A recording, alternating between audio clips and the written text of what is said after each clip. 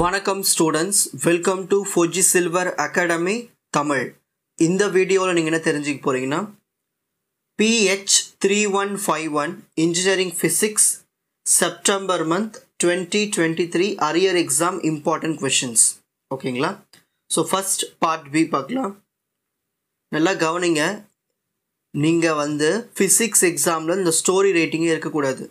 Physics மாதிரியே தான் இருக்கணும் பேப்பர் நீட் ப்ரெசன்டேஷன் வேணும். எல்லா ஈக்குவேஷன்ஸ்க்கும் பாக்ஸ் போட்டு எழுதுங்க. ஃபைனல் ஈக்குவேஷன்ஸ்க்கு கம்பல்சரி பாக்ஸ் போடணும். ஹெட்டிங்ஸ்லாம் அன்லைன் பண்ணுங்கள் நீட்டாக ப்ரெசென்ட் பண்ணுங்கள் ஃபிசிக்ஸ் மாதிரியே பேப்பர் காமிங்க. இந்த வாட்டி கிளியர் பண்ணிடலாம். நீங்கள் வந்து நான் பி ட்ரிப்ளி பேப்பர்லேயே பார்த்துட்டேன். கொஷின்ஸ் வந்திருக்கு. ஆனால் நீங்கள் வந்து என்ன பண்ணுங்க கொஷினை ஒழுங்காக படிக்கிறது கிடையாது. ஸ்ட்ரைட்டாக ஆன்சரை மட்டும் படிச்சுட்டு போகிறது கொஷின் நல்லா தரவாக படிங்க. இந்த கொஷின் தானான்னு படிச்சுட்டு எக்ஸாமில் எழுதுங்க. ஓகேங்களா அதே மாதிரி பேப்பரோடைய ஸ்டார்டிங்லேயே நீங்கள் இந்த கொஷின் தான் எழுத போகிறீங்கன்னு ஃபஸ்ட்டே டிக் போட்டுருங்க. அப்புறமா நீங்கள் எழுத போங்க. இதுதான் நல்ல பழக்கமே. ஸோ ஸ்டார்டிங்லேயே eleventh question A question attend பண்ணுறேன் டிக் போட்டுட்டு அப்புறமா எழுத போங்க. நீங்கள் பின்னால் எழுதினாலும் பரவாயில்ல. ஆனால் டிக் ஃபஸ்ட்டு போட்டு வச்சுருங்க. ஓகேங்களா? சரி இப்போது யூனிட் ஒன் கொஷின் பார்க்கலாம். Describe the principle working and construction of gyroscope gyroscope ரொம்ப தரவாக படிச்சுக்கணும் இந்த வாட்டி. ஓகேங்களா?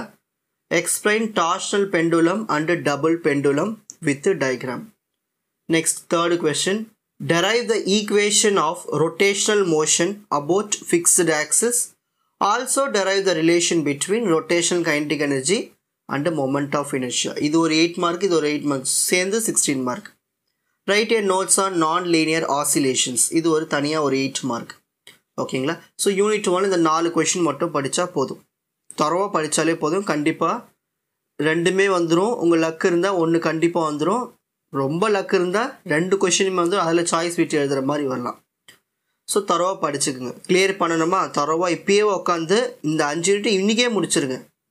முடிச்சு நாளைக்கு திரும்ப ரிவிஷன் பண்ணுங்கள் அப்படி தான் நல்லா பெஸ்ட்டாக கொடுக்க முடியும். Next unit two derive Maxwell's equation in differential and integral form derive Maxwell equations for free space question நல்லா படித்து பார்த்துட்டு எழுதணும்.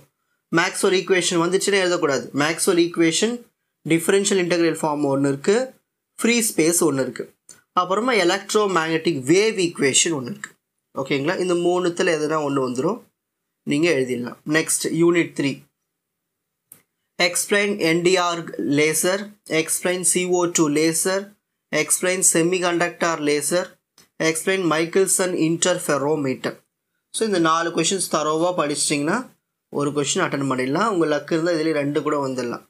Next unit ஃபோருக்கான important questions derive Schrodinger wave equation explain Compton effect discuss particle in infinite potential well one D two D three D boxes so இந்த மூணு questions தரவாக படிச்சிட்டிங்கன்னா ஒரு question எழுதிடலாம்.